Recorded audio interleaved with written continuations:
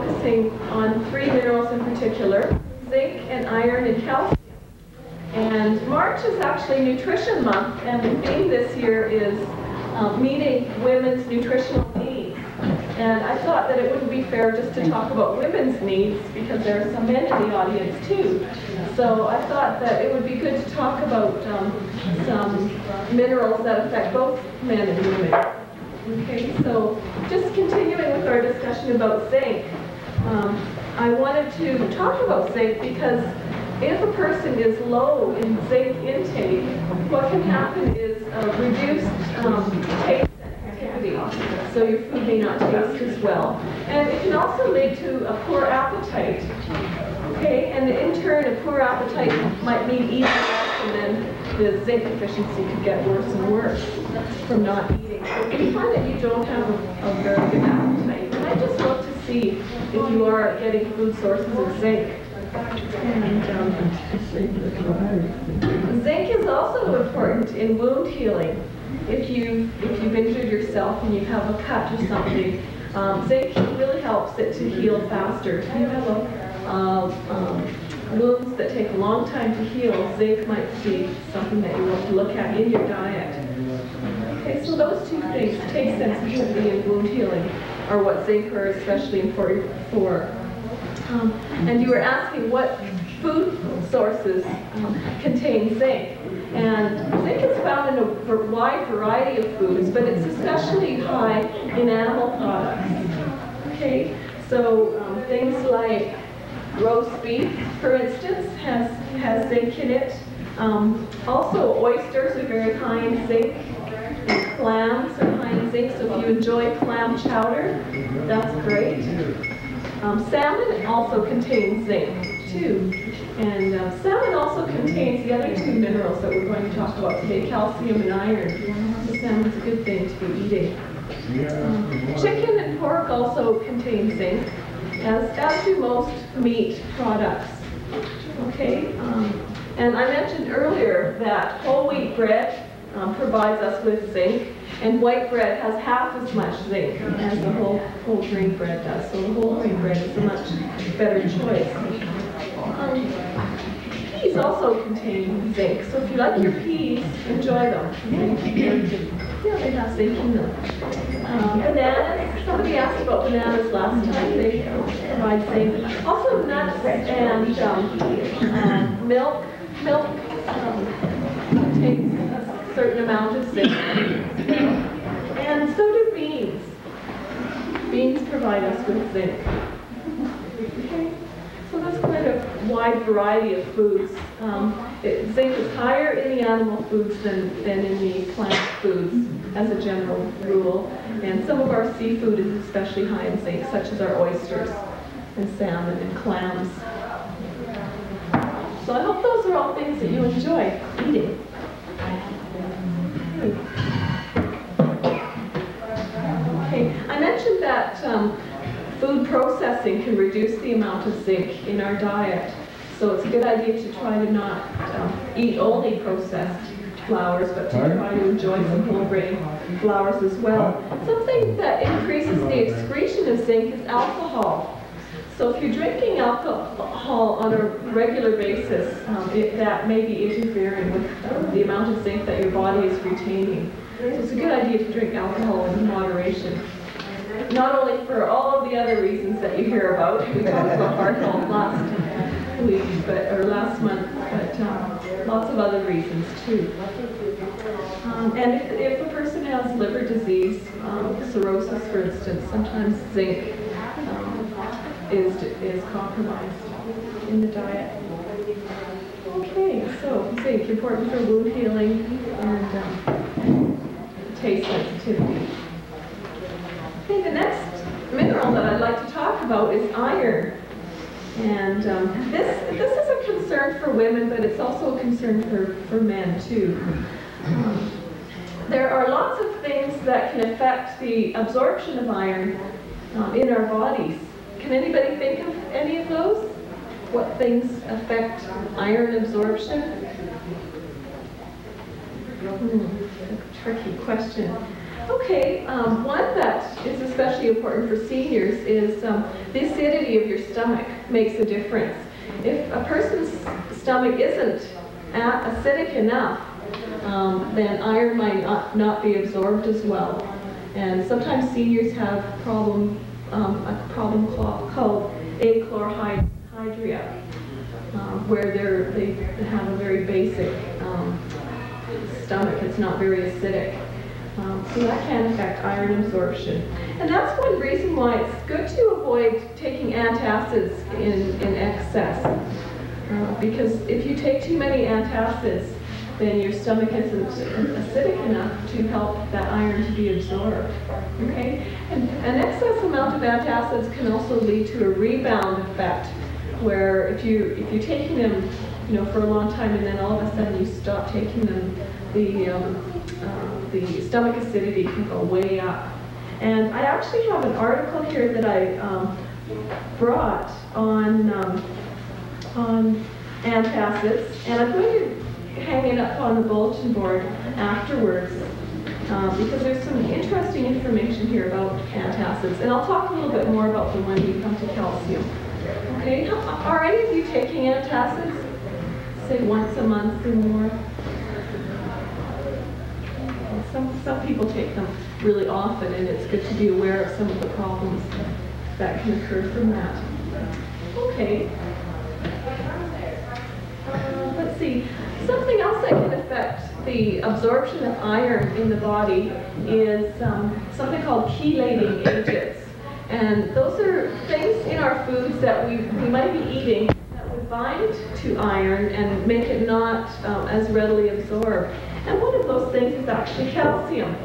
So you may notice that on a lot of um, multiple, vita, um, um multiple vitamin mineral supplements, Often the amount of calcium isn't very high, and the reason, or one of the reasons, is because if it was high, then that would reduce the amount of iron that was absorbed.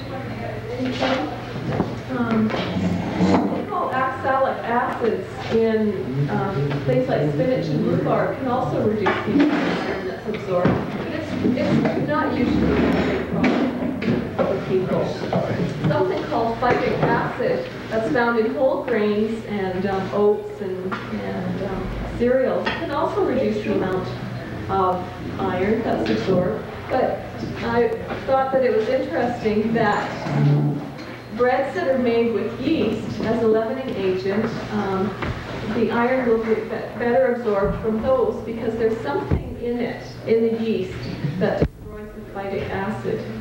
Okay, and it's phytic acid binds with the iron. So um, leaven, yeast leavened breads are a good thing. And uh, the iron will usually be better absorbed from those than non-leavened breads. Okay, how many of you are tea drinkers? A cup of tea? Yes, I bet a lot of you are. Okay, well, we'll just talk about tea and iron here for a moment. Because there's something in tea that can also reduce the absorption of iron. Now, um, an article that I was just reading um, said that it's very rare for people to get an iron deficiency just because they happen to drink tea. So tea can be part of a healthy diet, but it's just something to be aware of. You know, if the only um, uh, source of um, iron that you're getting is while you're drinking tea, then then you might think of eat, having your tea at a different time of day. Okay. Um, it, and one study found that drinking tea with a meal makes uh, decreases iron absorption by about 62%. So I thought that was really interesting. Coffee also can reduce iron absorption, but it doesn't have as great an effect on reducing the amount of iron that's absorbed. Okay, so we've talked about things that can reduce iron absorption. We want to know what can help increase iron absorption, don't we? Okay, I think I'll, I'll um, just stop here, first of all, to explain that there are two different types of iron um, in the food sources that we, we eat. And one is called heme iron, and that's the iron that's found in animal sources, such as our uh, roast beef and pork eggs and that type of thing. And then there's also non-heme iron, which is found in vegetables and grains. And the heme iron from animal products is actually absorbed much more readily than the non-heme iron is. But there are some things that can help us to increase the absorption of the non-heme iron. And um, um, one that's very important is actually vitamin C in the diet. Makes a really big in, um, difference as to the amount of non-heme iron that will be absorbed. So and a good example would be, for instance, if you're having um, toast with your breakfast and you want that iron that's in the toast to be better absorbed, drinking some orange juice with it or having a piece of grapefruit or strawberries with it will help that iron to be absorbed better. So, and um, I brought along uh, an orange. We often think of oranges as having a lot of vitamin C in them, and they definitely do. But uh, green peppers are also very high in vitamin C, and red peppers are even higher. So if you like your red and green peppers, that's great too. You might want to put some in a sandwich, for instance. Yeah, or in a salad. Yeah, that's a great idea. Or in an omelet. Yeah. Okay. And just um, one more thing about vitamin C before we carry on is that vitamin C is readily um, destroyed if it's exposed to air um, or if it's exposed to a lot of heat over time. So if you're um, preparing your um, juice, for instance, and it, you're storing it in the refrigerator, it's a really good idea to keep it uh, covered on it.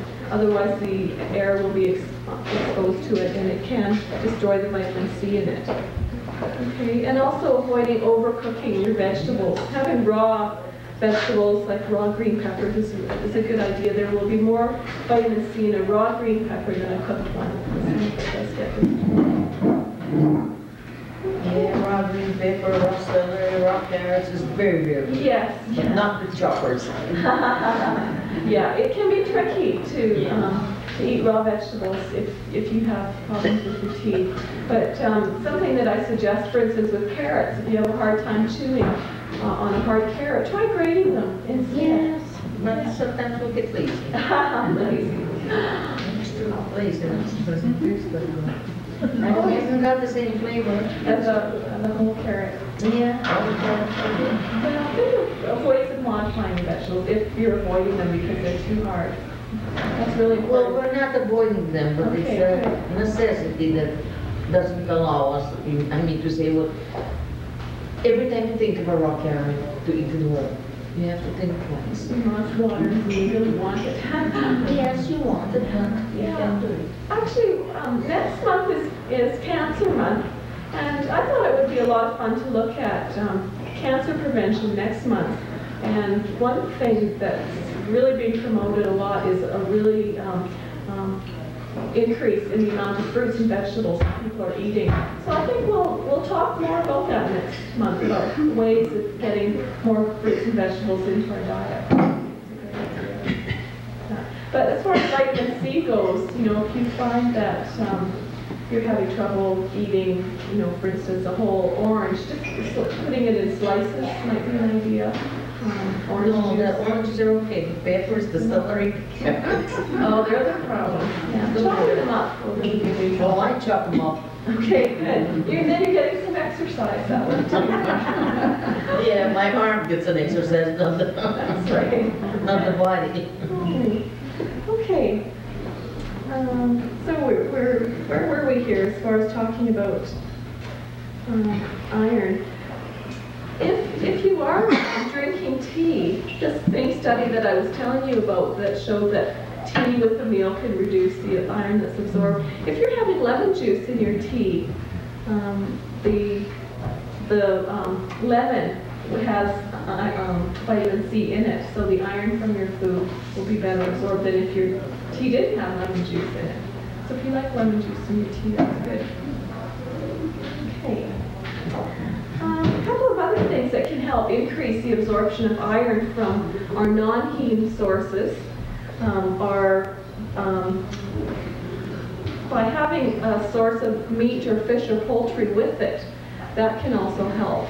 So again, if you're having a piece of, um, bread, for instance, the iron will be better absorbed if you were to have um, a piece of meat on it. And it's not because of the iron in the meat. It's there's amino acids in the meat um, or fish or poultry that helps that iron in, in the um, bread or toast be better absorbed.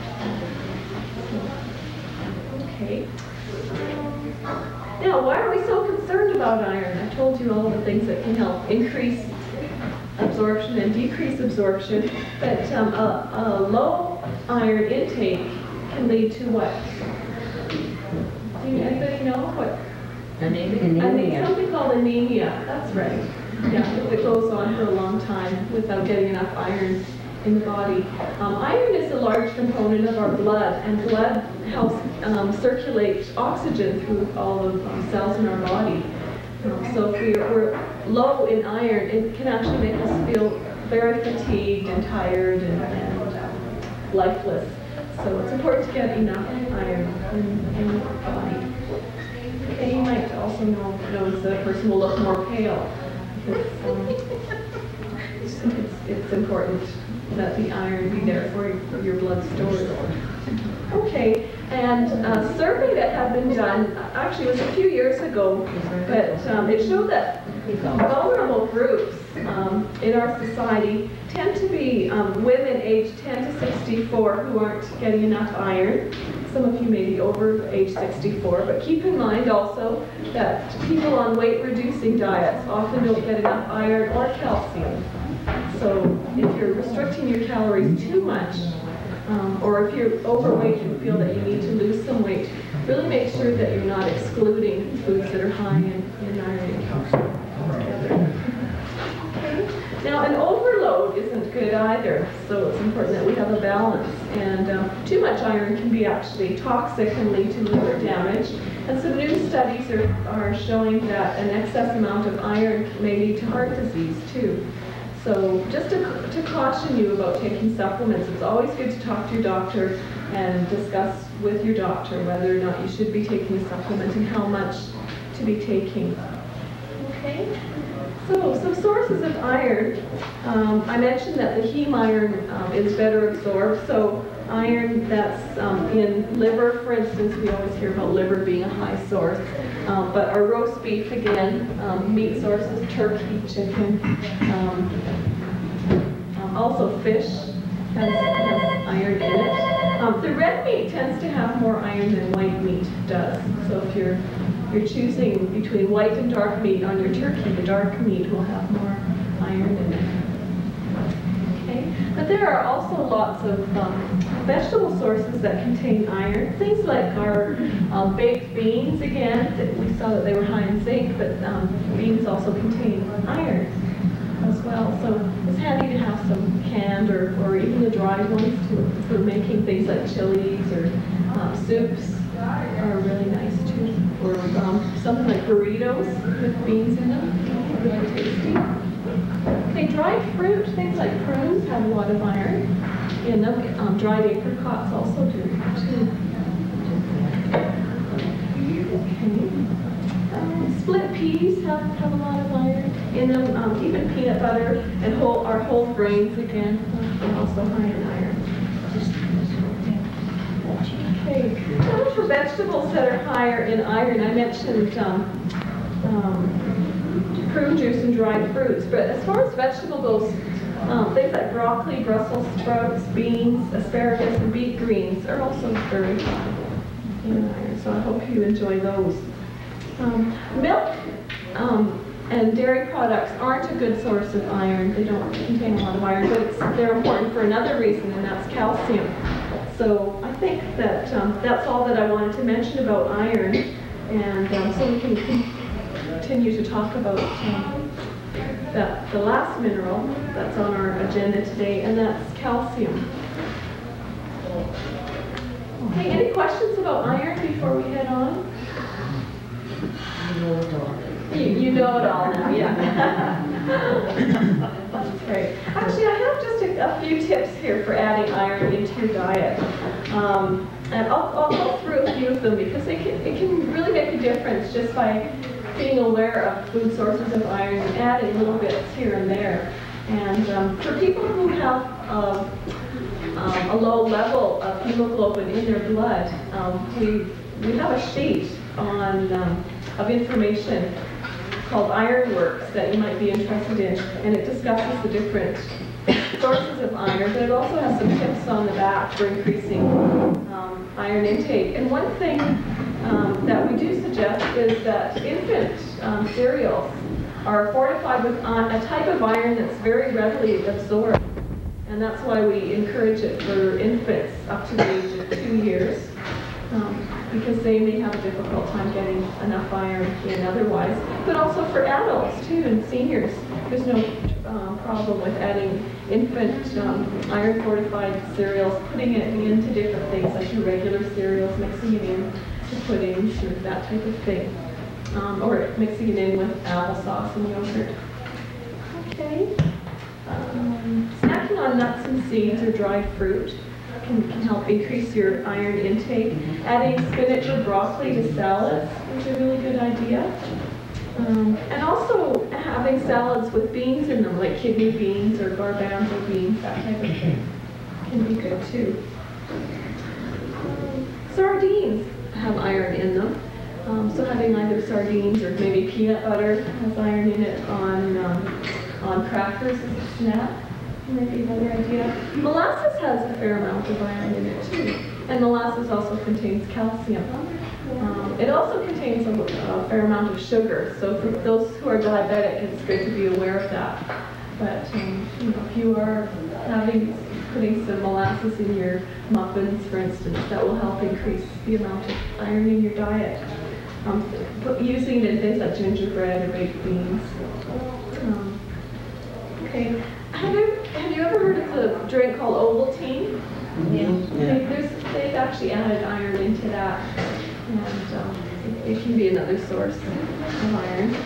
Um, or prune juice is a good idea, lots of iron in that. Good thing to be drinking um, for, with breakfast rather than a lot of tea and coffee, which is going to reduce your iron absorption. Um, and then including foods that have a lot of vitamin C in with your meals. Um, now, somebody had asked about my cast iron frying pan here. I can't go on to talking about calcium until we, okay, you've waited patiently. Okay, what I wanted to say about cast iron frying pans is that they can be a source of iron in the diet too. You might be surprised to hear that, but um, I've heard about it, Yeah. that's why I asked you. Yes. And I wanted you to confirm it. Yes, right? it is true. yeah, by um, cooking food in a cast iron frying pan, um, some of the iron does um, get released and, and can be eaten along with the food. And it's especially true if you're cooking something that's fairly acidic in your um, pan. Um, something like tomato sauce would helps to leach out more iron, um, for instance.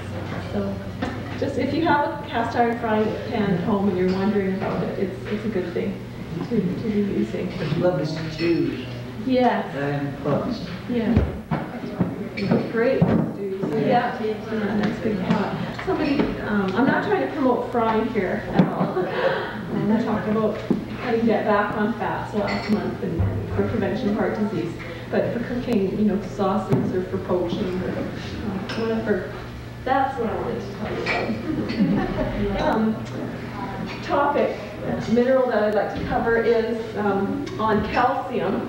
And I'd like to focus specifically on osteoporosis because it's, it's um, quite a concern for us in um, today's society. And it's estimated that one in four um, Canadian women over the age of 65 suffers from osteoporosis.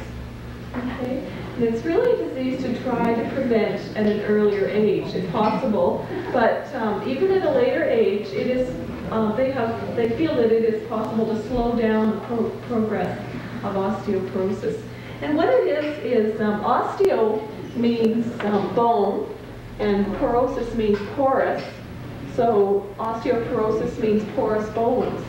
And um, calcium is, um, of all the minerals, it's the one that's in our body in the highest quantity, and it's stored in our bones. 99% of the calcium in our body is in the bones.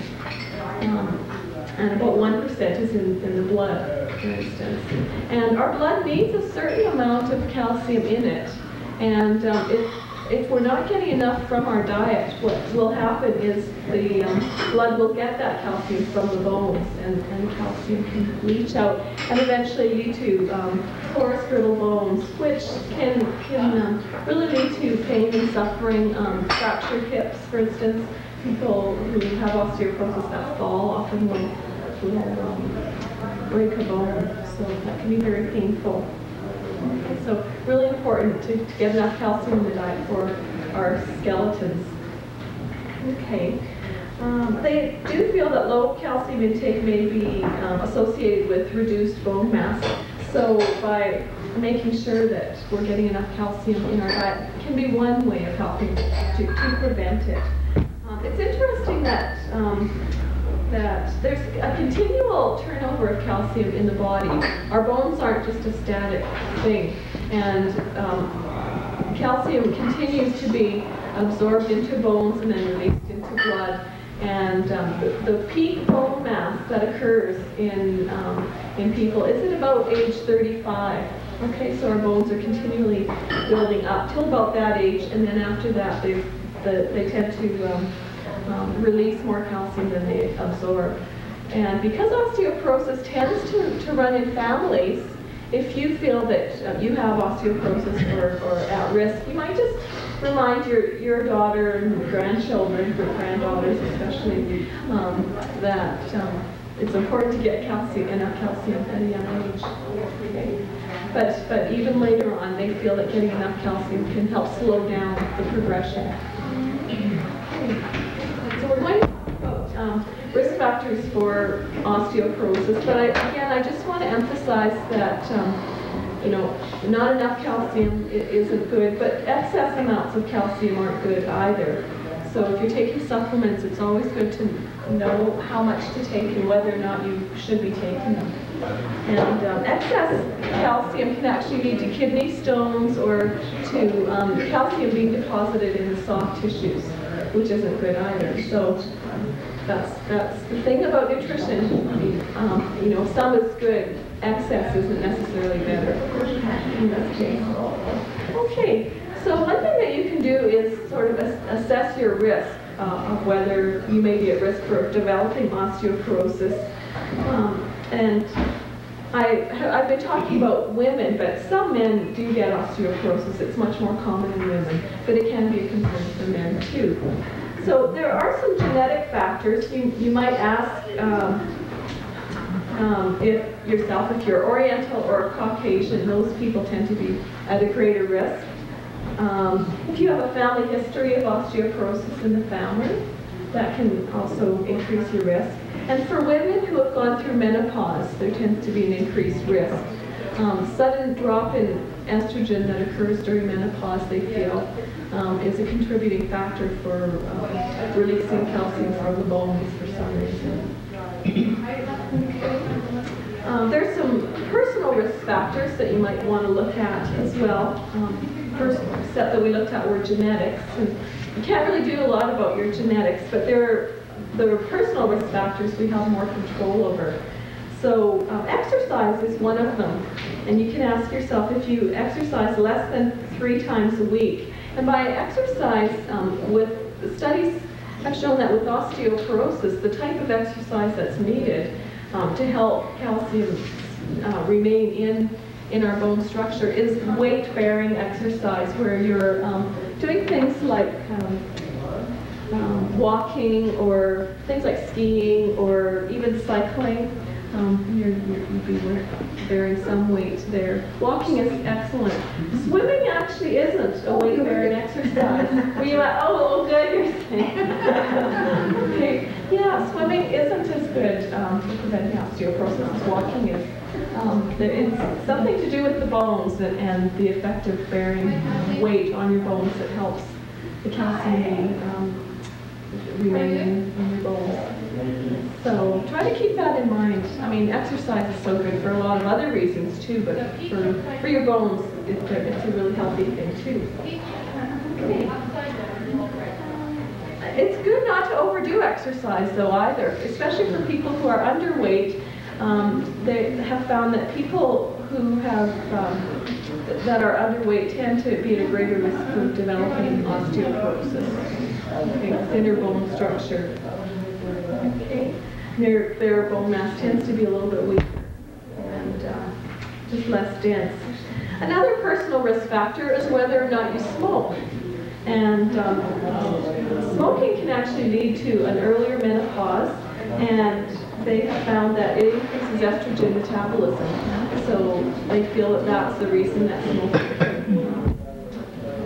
the reasons that smoking can contribute to osteoporosis. Um, taking any of the following medications, uh, anticonvulsants, um, large doses of thyroid hormone, adrenal steroids, or aluminum-containing antacids. And um, aluminum binds with calcium so that it can't be absorbed. So if you're taking antacids that have a lot of aluminum in it, it can, um, it can lead to problems. And I discussed earlier that um, antacids lower the acidity in the stomach, and calcium, as well as iron, needs iron in the, or um, needs acidity in the stomach in order to be absorbed. Um, it's, I think it's really interesting that the um, studies of different populations have actually showed that populations that, um, don't drink a lot of milk you don't necessarily have a higher incidence of osteoporosis. And what they contribute that to is that, um, that populations that have a high intake of protein in the diet, um, a high level of protein can actually reduce calcium absorption. So it's good to not overdo the protein in our diet. And an example of how much um, protein would be recommended um, on a daily basis, in Canada's food guide it suggests two servings from the meat and alternate group a day. And an example of a, serving would be about this amount of turkey. So a cup, two or three ounces. Um, So getting, getting a couple of servings uh, of um, meat, for instance, that are each about the size of a deck of cards or, or about the palm of your hand, two of those a day is plenty in protein. Some people overdo the protein. It is important to get enough protein in the diet, but excess amounts can lead to um, more calcium being lost in the body and less calcium being absorbed. Caffeine can also reduce calcium absorption, so something to keep in mind for, for your tea and coffee drinkers. Some dietary risk factors too. We looked at genetic risk factors, some personal risk factors. And um, as far as diet goes, we'll, we'll just continue here. Is your diet low in calcium-rich foods? So I'd like to spend some time talking about what foods have calcium in them. Uh, we always hear about the dairy group having a lot of calcium, and it is true. It's a very excellent source of, of calcium. Um, so we'll talk about that in a moment. I just have to go through these other dietary risk factors first, and then we'll focus specifically on calcium. Um, in order to get the calcium we need, approximately two servings from the milk group is recommended. Um, the next question is, do you consume more than two alcoholic drinks per, per day? Um, and an example of one drink would be 12 ounces of beer, or 4 ounces of wine, or one and a half ounces of hard liquor. I see a lot of you shaking your head. That's good. Um, that also reduces um, calcium absorption.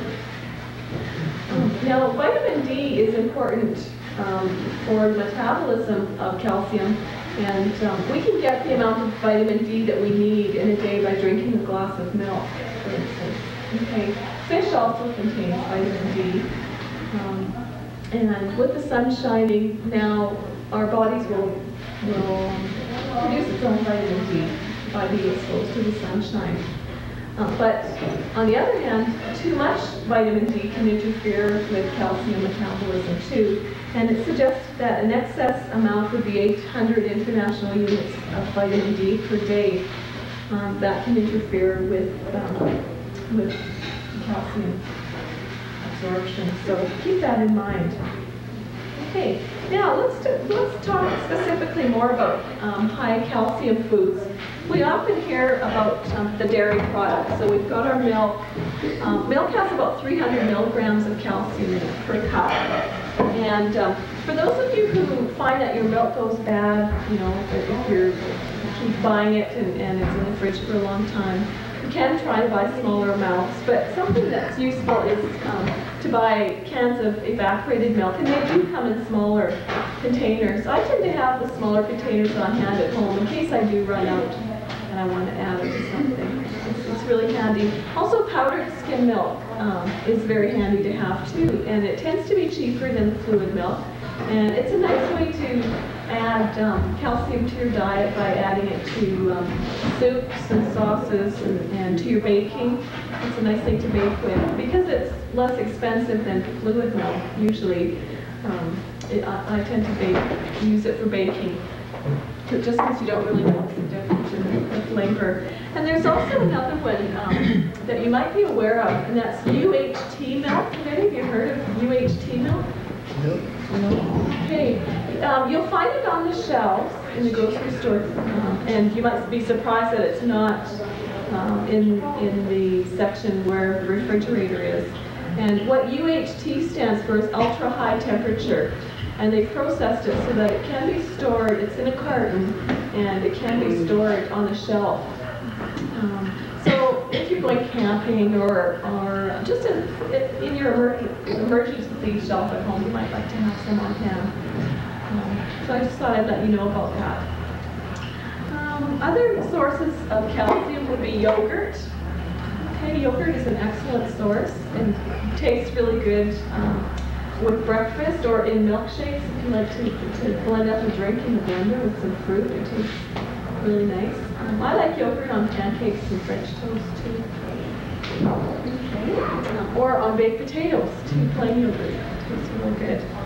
Now, um, cottage cheese isn't as good of a source of calcium as your, your milk and hard cheeses. It takes about a couple of cups of calcium to give you the amount of calcium from, from a cup.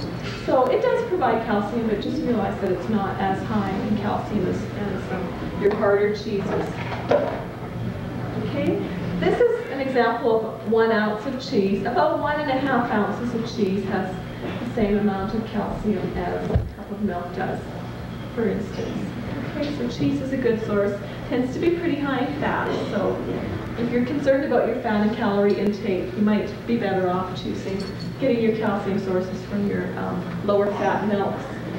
Now, a couple of things that aren't considered um, good sources of calcium that you might be surprised at are things like butter. It's a dairy product, but it's very low in calcium. Same with sour cream. It's not really good source of calcium. And um, whipping cream, or your half and half cream. These are very low in calcium because they're so high in fat. It's fat that's, that's, that's in here taking up all the space, not a lot of calcium. And um, you might be surprised also to hear that coffee whiteners, like coffee mate, are very low. They're really not comparable nutritionally to milk. So it's much better to add milk to your, to your coffee than, than coffee mate. Okay. Um, if you're making soups at home, and um, if you don't like drinking fluid milk, you might think about adding milk to your soup instead of water. That's another way of getting more calcium in. Um, have any of you heard of ricotta cheese? That's a good calcium source, and you would find it in the same section as you would cottage cheese in the grocery store. And um, it's, I really like the flavor and the texture of it. It's nice and soft, and it's spreadable. And I like having it to lasagna. It's lower in fat than your hard cheddar cheese, and it, it adds a nice texture. What is it called again? It's called ricotta, ricotta cheese. You see it in a lot of Italian dishes. Mm-hmm. Is it, is it in any uh, store? Yes, yeah, I, I see it in, in most, all of You know, the where we No. grocery stores, yeah. Yeah, Es ricotta. una ravioli ahora. What's that? You use it in Ravioli. ravioli, yes. Yeah, Frank says he uses it in ravioli. Yeah, it's good, isn't it? Yeah, Good source of calcium. Um, This um, type of cottage cheese can also be substituted um, instead of using cream cheese. Cream cheese is another one that's not really a good um, source of calcium. It's not as good as your hard cheeses. But in a, um, a recipe for cream um, or cheesecake rather, um, this is a better choice because it's lower in fat, higher in calcium than your cream cheese would be. And you can also make dips and things with it too, by adding different spices, and spreading it on um, toast or crackers, that sort of thing. Okay, so these are all really good sources. And what I've talked about so far are the dairy sources. Um, I'd like to spend a little bit of time talking about non-dairy sources, and I'll also give you an idea of how much of each of these different things you would need to get about the same amount of calcium as one cup of milk, okay? So we're going to be comparing here some, some non-dairy sources. Okay, legumes, for instance, your beans, again, are a source of calcium. Um, and it, it would take about three cups of cooked beans to um, give you the amount of calcium as would be in one cup. Okay, so they are they are a source. Um. Beans or other legumes too, like your lentils and that type of thing. Okay, sesame seeds. About three tablespoons of sesame seeds has the amount of calcium as a cup of milk. So they're an excellent source for those of you that don't like to drink milk. Three tablespoons. Um, almonds. How many of you like almonds? they're pretty high in fat. That's the only thing. But a cup of almonds has about the, the same amount of calcium as a cup of milk. Okay. Um, seaweed. I don't know if any of you are familiar with using seaweed, um, but there are different types. Um, hijiki or kelp, for instance, are fairly high in calcium. And um, let's see, your dark green vegetables. Now, I brought an example of one. Uh-huh. Anybody know what this is? You see, probably you've seen it in the grocery. Yeah, no, it's not parsley, it's not cabbage. no. Kale. It's kale. That's right. K-L-E, kale. And um, a lot of people will cook it. It has a nice flavor to it. It looks like parsley. It's, it's all curly. Um, but what I like to do with it is chop it up very fine and put it in a salad. It's a little bit coarse otherwise. It'd be hard to put it on a sandwich first. You can eat it that way. Um, so if you're not cooking it, chop it up really fine and it tastes really nice in salad. It's an excellent source of calcium. Um, so are some of your other dark green vegetables such as broccoli or bok choy, um, kale, mustard green, okra, turnip greens. Um, let's see, one and a half cups of these dark green vegetables would give you about the same amount of calcium in a cup of milk. Okay? Now, just a couple of other things. Um, tablespoons of blackstrap molasses would be the same amount as in a cup of milk. Um, five sardines or a cup of salmon. Now that would be salmon with the bones because salmon, or because calcium is stored in the bones. Uh, if you're opening up your tin of salmon and you see some bones in there, try just mashing it with a fork and uh, it blends in really nicely with casserole. Okay, but uh, about a cup of salmon would have the same amount of calcium as a cup of milk with the bones.